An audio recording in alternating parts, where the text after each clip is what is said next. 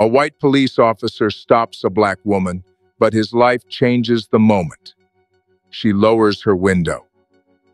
It was a typical afternoon in Phoenix, Arizona. Officer Jack Parker, a seasoned police officer, was patrolling the busy streets when he noticed a black car speeding down the road. The car was swerving between lanes, its tires screeching as it passed other vehicles. Officer Parker immediately flicked on his siren and pulled the car over, expecting it to be a routine traffic stop. As he approached the vehicle, he saw a young black woman behind the wheel. Her name was Tasha Williams. She seemed calm, but there was an air of defiance about her as if she already knew the game he was about to play.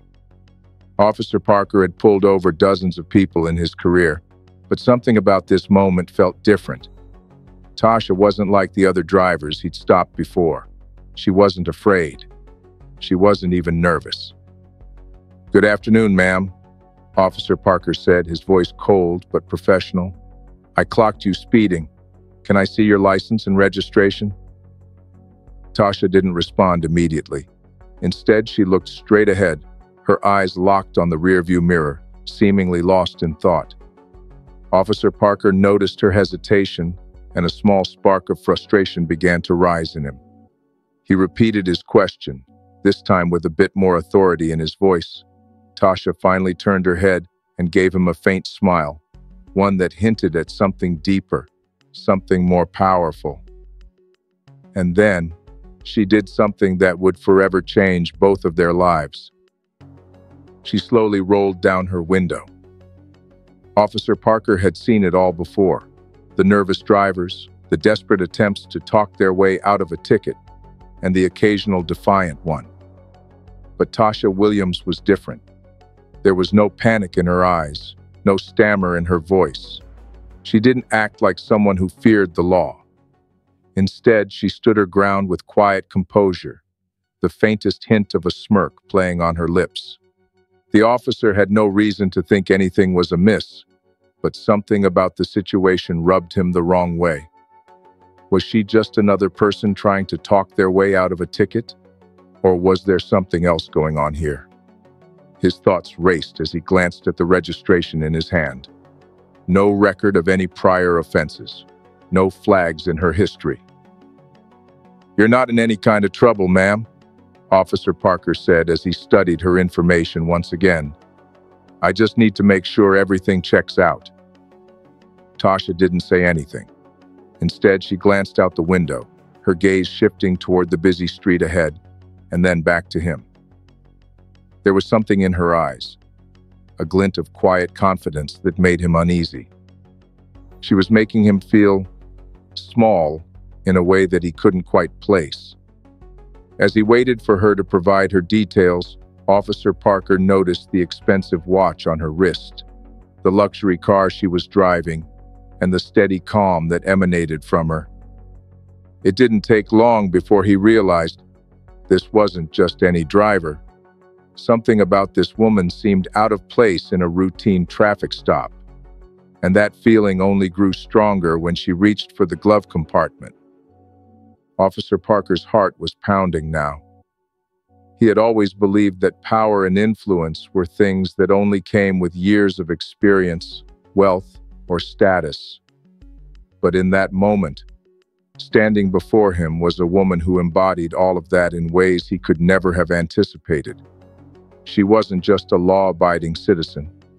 She was someone who could reshape everything he thought he knew about the world.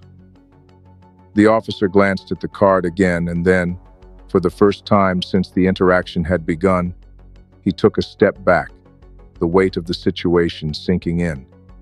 His thoughts were racing.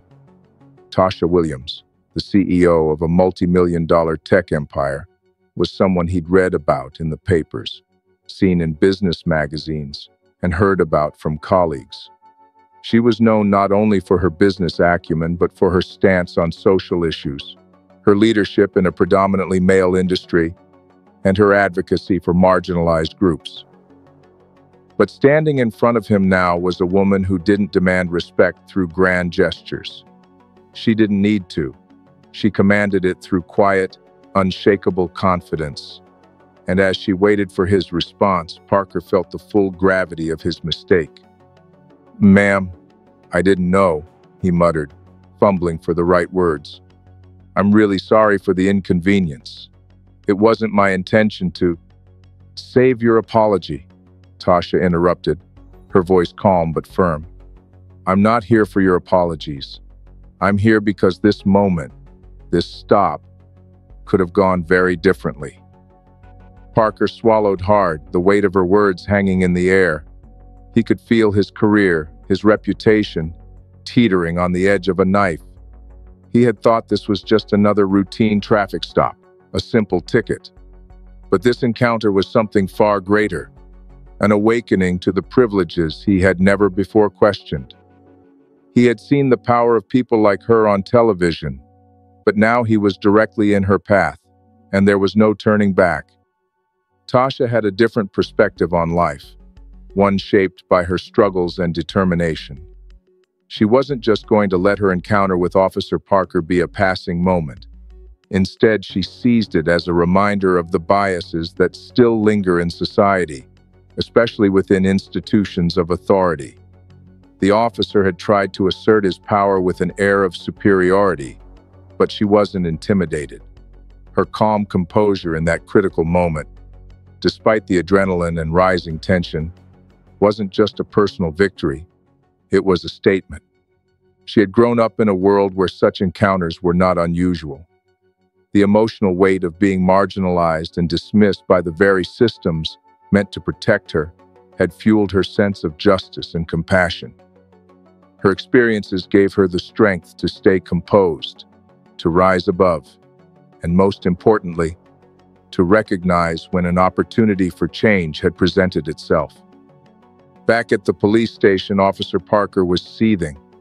His pride had been wounded, his assumptions shattered. He had pulled over what he thought was just another routine traffic stop, but instead, he found himself face to face with someone who defied all his preconceived notions. It was a bitter pill to swallow for someone who had been used to exercising power without question. However, instead of confronting his biases, he went into damage control mode, trying to rationalize his actions. But the seed of doubt had been planted. Deep down, he knew something wasn't right, but his pride couldn't let him fully acknowledge it. Tasha, on the other hand, was unwavering. She had no intention of letting this incident slide. She knew that real change didn't come from silence. She had a voice, and she was going to use it. The next day, she found herself meeting with the police department's internal affairs. It was a necessary step, but Tasha had no intention of backing down. What she was doing was bigger than just this incident.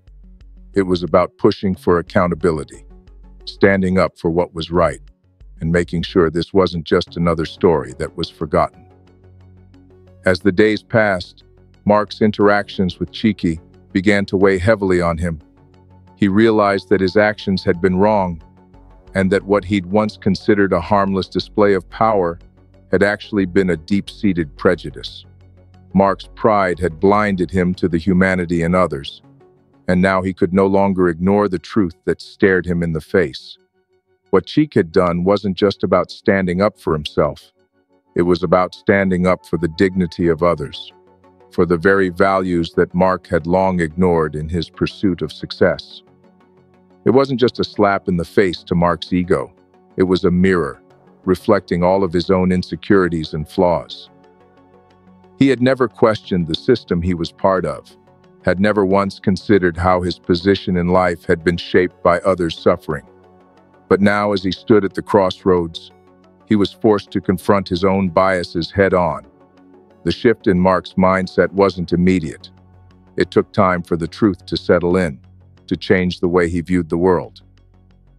He began to see the complexities of the situation, how power dynamics were often invisible yet pervasive. But more than that, he started to see people, real people, with dreams, struggles, and stories of their own, just like him. By the time Mark reached out to Chike to apologize, he understood that true change came from within. It wasn't enough to just say the words. He had to embody the humility and respect he had long denied others. It wasn't easy, but it was necessary. And with that, the first step toward healing, both for Mark and for Chike, had been taken. The next few weeks were a time of reflection and growth for both Mark and Chike. Mark's apology wasn't the end, but the beginning of a long process of unlearning and rebuilding. He knew that he could never fully undo the harm he had caused, but he could do better moving forward. Starting with how he treated others, how he viewed people of different backgrounds, and how he used his privilege. Chike, for his part, accepted Mark's apology, though he made it clear that action spoke louder than words.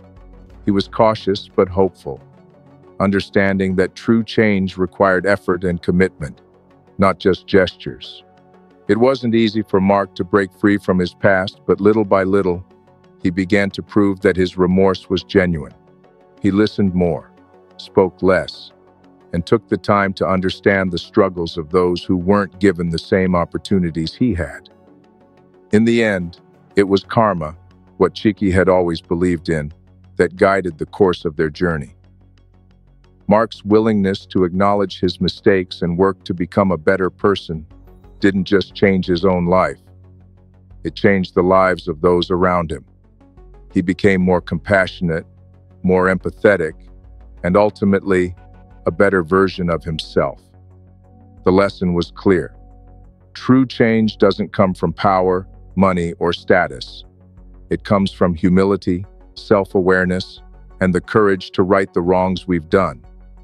Chike's encounter with Mark had indeed changed everything. Not just for Mark, but for the world they both shared.